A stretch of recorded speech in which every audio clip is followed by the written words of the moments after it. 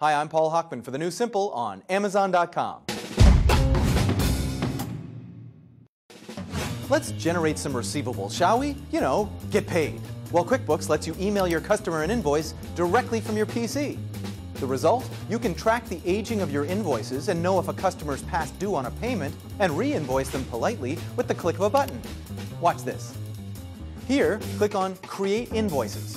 Click on the Customer Job tab, and there's a drop-down list of your customers, like Adam's Candy Shop. Since Adam's an old customer, all his information's already there. Go down to the quantity of the items you've sold, let's say two, and then over to the unit price, let's say $1 million. You see, candy is good for you.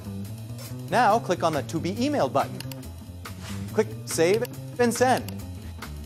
Your invoice is in their inbox in seconds. So you want to know how to receive your $2 million and properly account for it in a matter of clicks? Check out the next video.